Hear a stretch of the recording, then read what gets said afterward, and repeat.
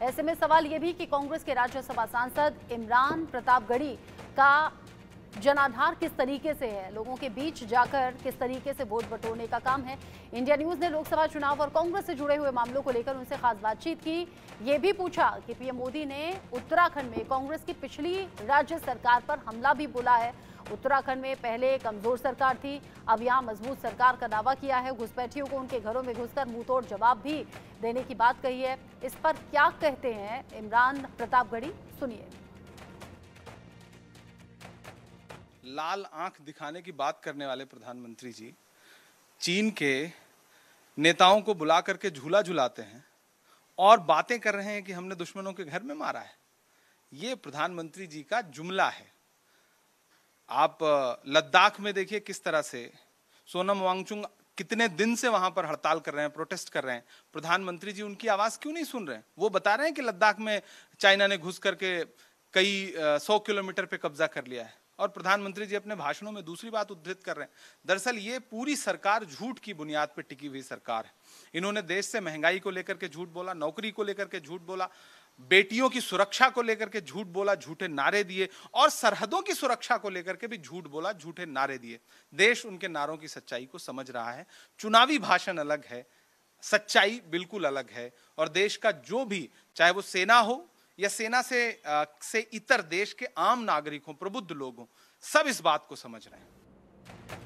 India news ने इमरान प्रतापगढ़ी से यह भी पूछा कि पीएम मोदी कहते हैं कि कांग्रेस के घोषणा पत्र में मुस्लिम लीग की छाप दिखती है। आप इसे कैसे देखते हैं? इस पर उन्होंने क्या कहा? सुनिए। मुस्लिम लीग का घोषणा पत्र कैसे हुआ? उनको मुस्लिम लीग की छाप कहाँ से दिखती है?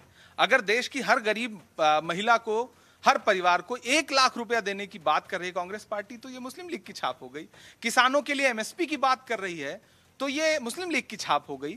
वो युवाओं के पेपर लीक के मुद्दे पर प्रॉमिस कर रही है कि हम उनको सजा देंगे। तो ये मुस्लिम लीग की छाप हो गई। प्रधानमंत्री जी, ऐसी बात करिए जिसका कुछ सिर पैर हो।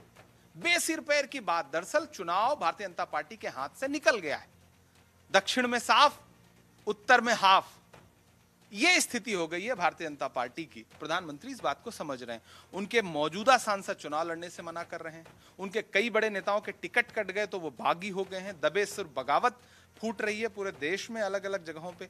न जाने कितने प्रत्याशियों का टिकट अनाउंस होने के बाद जब कांग्रेस की मज़बूत स्थिति देखी गई तो वहाँ पर टिकट बदले जा रहे हैं।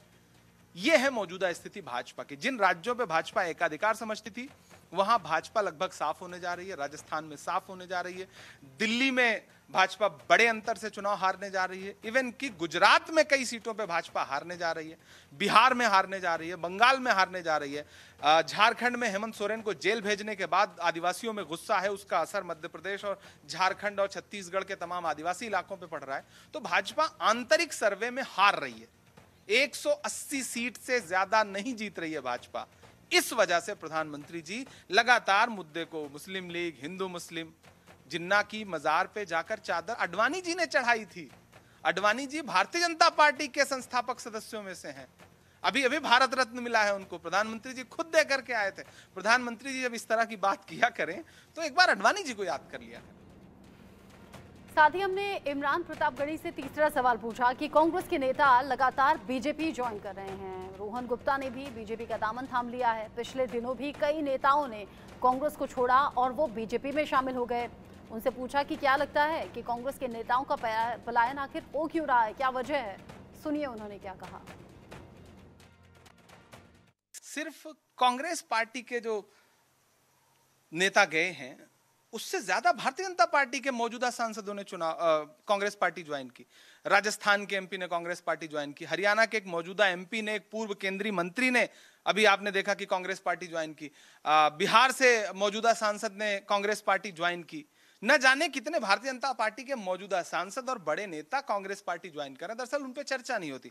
और कांग्रेस पार्टी का कोई एक प्रवक्ता भी या कोई एक पूर्व प्रधान भी भारतीय जनता पार्टी ज्वाइन कर लेता है तो कांग्रेस में बड़ी टूट जैसे नारे लगाती है मीडिया। दरअसल, भाजपा से लोग भाग रहे हैं।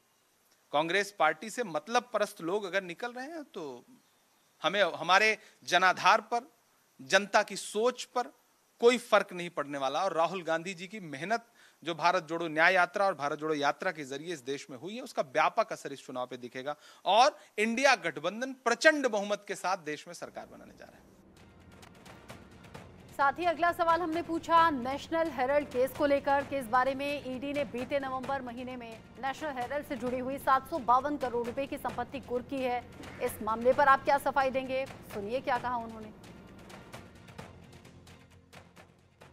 राहुल गांधी जी से 55 घंटे पूछताछ की। सोनिया गांधी जी को एजेंसियों के ज़रिए पूछताछ के लिए बुलाना, कांग्रेस पार्टी के अध्यक्ष को बुलाना, ये सब जो प्रक्रिया बीच में गुजरी है, वो शुद्ध रूप से विपक्षी पार्टियों को दबाने की, कुचलने की साजिश है। दो दो मौजूदा मुख्यमंत्री को जेल के अंदर डाल देना, हेमंत सोरेन को, अरविंद केजरीवाल को यह दिखाता है कि एजेंसियों का कितना दुरुपयोग हुआ है। ईडी इलेक्टोरल बॉन्ड के नाम पे खामोश क्यों है? चुप्पी क्यों ओढ़ रखी है? जब एकदम क्लियर कट साफ़ दिख रहा है कि वो कंपनियाँ जिनका प्रॉफिट डेढ़ सौ करोड़ रुपए का नहीं है, वो तेरह सौ कुछ करोड़ रुपए के बॉन्ड खरीद रही ईडी क्या कर रही है? तो ईडी की पिछले सात आठ साल की जो भी कार्रवाइयाँ हैं, वो सिर्फ़ और सिर्फ़ विपक्ष को दबाने की, इनकम टैक्स ने हमारे खाते फ्रीज किए। तो ये विपक्ष चुनाव न लड़ सके मजबूती के साथ, उसका ध्यान भटका रहे, ये उसी की साजिश है, इससे ज़्यादा कुछ भी नहीं। देश को समझना पड़ेगा कि एजेंसियों का जितना दुरुपयोग भारतीय जनता पार्टी ने पिछले दस साल में किया है, उतना किसी भी सरकार ने आज तक एजेंसियों का दुरुपयोग नहीं किया है। और मुझे पूरा विश्वास है कि देश इसे देख रहा है। और देश इस मौजूदा सरकार को जो उत्पीड़न करती है विपक्ष का, उसे हटाने जा रहे हैं। इमरान प्रतापगढ़ी कह रहे हैं कि देश देख रहा है और अब सब कुछ देखते हुए सोच समझकर वो अपना वोट देगा और वोट का इस्तेमाल करेगा। आगे बढ़ेंगे। चुनावी सरगर्मियाँ चल रही हैं और ऐसे में नेता लोगों के बीच में पहुंचकर अपने अपने दावे अपने अपने तरीके से कर रहे हैं। ऐसे में वोटर की नफ्स टटोलने के लिए इंडिया न्यूज़ भी पहुँच रहा है वोटर्स के बीच में ही। नागपुर में इंडिया न्यूज़ पहुँचा। मेट्रो के अंदर ये जाना कि चुनावों को लेकर लोगों का मिजाज कैसा है, उनके मन में क्या चल रहा है और कौन कौन से मुद्दे होंगे जिनके आधार पर वो